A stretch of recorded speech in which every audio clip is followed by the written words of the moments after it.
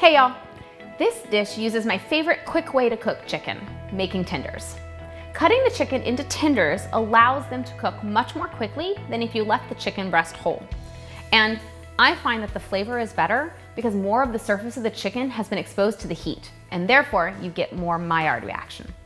Add a little butter to the mix and you'll get even more. Though, only do that if your body can handle it.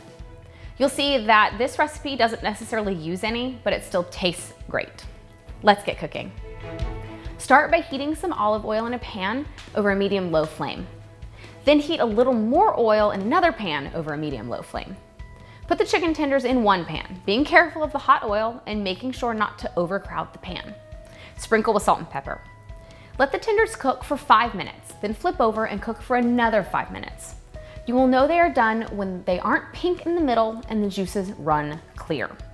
I typically cut the biggest tender across the fattest part to check, then turn off the heat. While the tenders are cooking, add the kale and a pinch of salt to the other pan with oil and cover. Cook for five to 10 minutes or until wilted to your liking. Once wilted, turn off the heat. While the tenders and the kale are cooking, mix the vinegar, lemon juice, and water in a saucepan. Add the red onions and apples. Bring to a boil. Add a little salt and pepper. Pour in the quarter cup of olive oil and let it simmer for a minute or so. Turn off the heat. When the kale is done cooking, add the contents from the saucepan to it and mix everything together. Place some of the kale mixture on a plate.